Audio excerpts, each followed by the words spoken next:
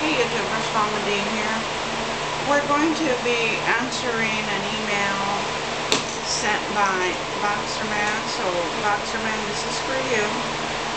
Now, the question he had was a verse that he came across in Daniel 12, 1. Now, he is asking um, if this verse is saying all saved in the book are, are all the people will be raptured.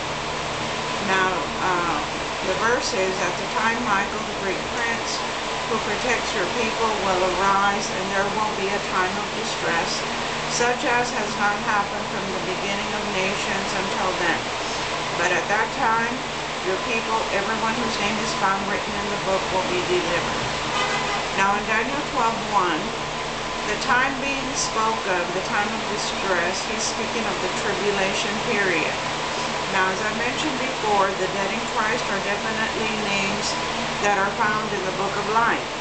Now, um, remember there are two books at the great white throne judgment. In the book of Revelation, it speaks more than once of the dead before the throne. Revelation 2012, and I saw the dead, great and small, standing before the throne and books were opened. Another book was opened, which is the book of life. The dead were judged according to what they had done as recorded in the books. Please take note that books is plural, that it is speaking of more than one book. Now Revelation 2015, anyone whose name was not found written in the book of life was thrown into the lake of fire.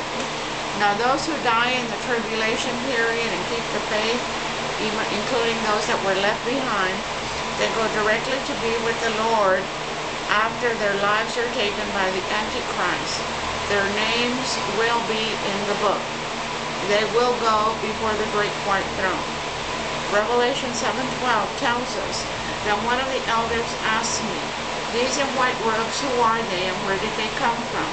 I answered, Sir, you know.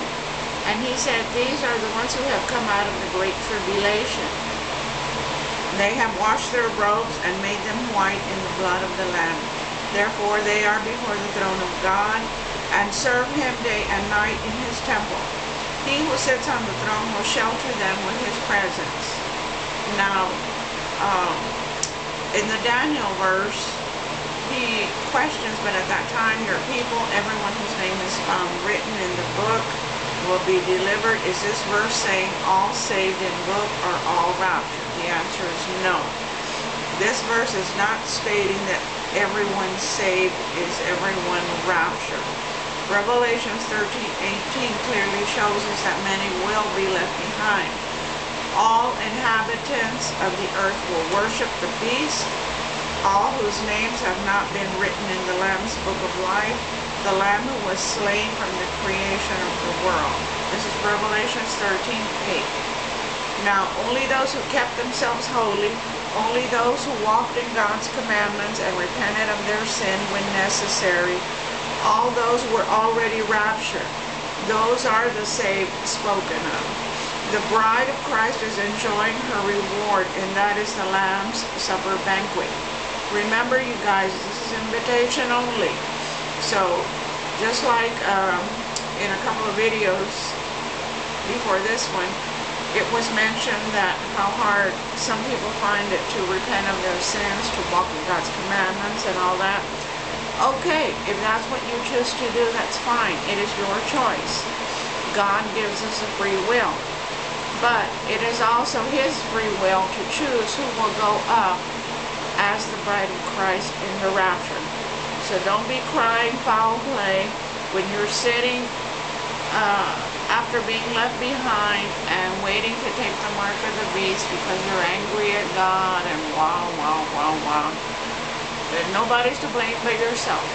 You're the one who made the choice not to repent, not to walk in God's commandments, to live um, up to the very brink of the rapture because you were waiting on all the signs to show when the rapture was going to happen.